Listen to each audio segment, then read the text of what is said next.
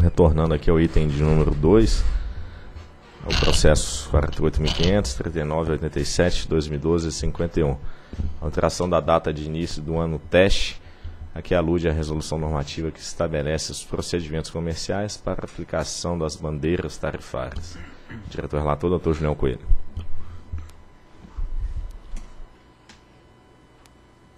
Bom, aqui, senhores diretores, é tão somente fixar a data de início de aplicação das bandeiras. Nós julgamos esse processo no final do ano passado, mas não houve a correspondente publicação da resolução. Então eu estou trazendo esse voto tão somente para a gente demarcar que as bandeiras passam a ser aplicadas a partir de maio. Ou seja, na verdade não é as bandeiras, né? O ano teste é, para que as bandeiras então tenham aplicação a partir do ano que vem. Então o ano teste ele passa a ser observado a partir de maio e ele consiste tão somente numa informação na fatura dos consumidores dizendo qual seria a bandeira naquele ano, caso o sistema de bandeira já estivesse em vigor, e qual seria o acréscimo sobre a fatura caso a bandeira já estivesse em vigor. Fica também a, a notícia de que a bandeira passa a ser aplicada efetivamente em janeiro de 14. Então é tão somente para demarcar que o ano teste passa a ser observado em maio próximo. É o voto. Em discussão. Julião, so... é, doutor João, pelo que eu estou entendendo, a proposta é que a partir de maio a conta de energia elétrica de cada consumidor vai ter uma informação a respeito das bandeiras, somente a título informativo, e que isso vai ter eficácia a partir de janeiro de 2014. Exato. É, é isso. isso. Nas faturas tem as mensagens aqui que vão constar da fatura. É até importante é, rolar lá para a mensagem. Está lá no artigo 6 parágrafo 1 Tem aí qual a mensagem que passa então a, a, figurar nas faturas dos consumidores a partir de 1 de maio.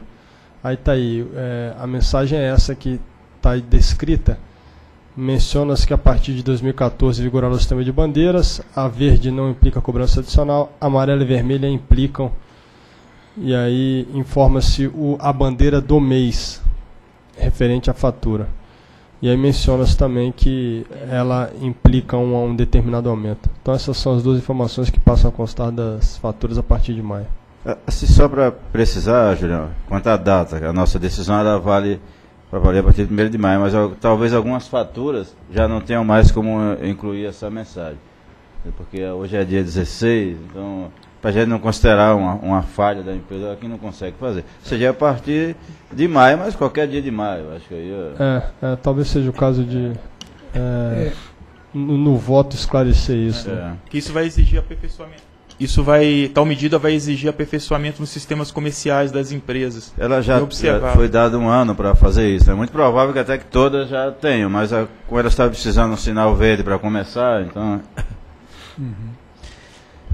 É, doutor João, só então reafirmando aqui para a correta começar, até porque esse assunto tem gerado algumas é, discussões, alguma polêmica em torno da compreensão do mesmo. Dizer, na verdade, nós já havíamos deliberado anteriormente que aplicaríamos o ano de 2013 como ano teste. Portanto, essa questão da fatura é apenas informativa e ela não gera efeito prático. A partir de janeiro de 2014, aí sim ela vai entrar produzindo o efeito que o Julião acabou de mencionar.